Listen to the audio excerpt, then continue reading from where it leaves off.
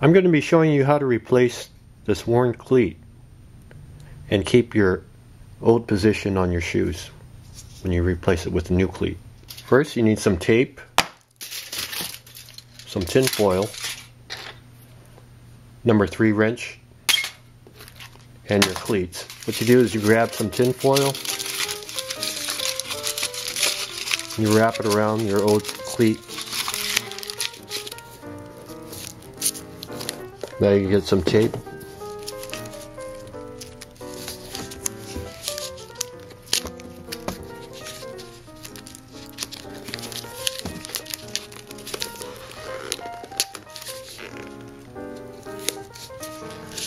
Make sure it's good and tight.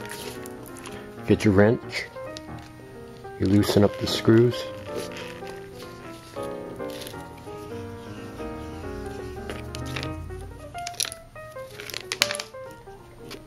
Pop it right out.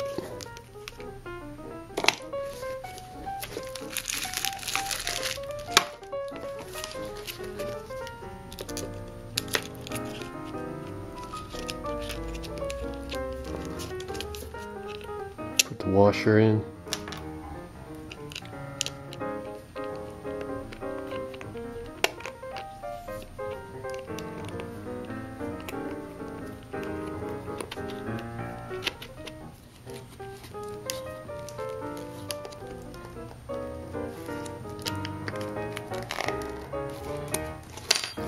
So that's it, using tin foil to help position your cleats when you're doing a replacement.